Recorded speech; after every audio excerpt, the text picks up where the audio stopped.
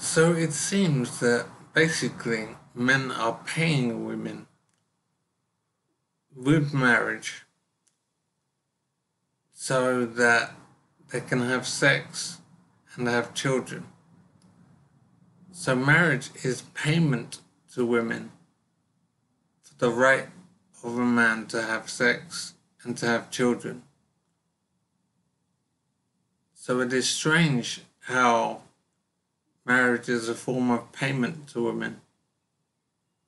And this is why women have so much more advantage than men with marriage.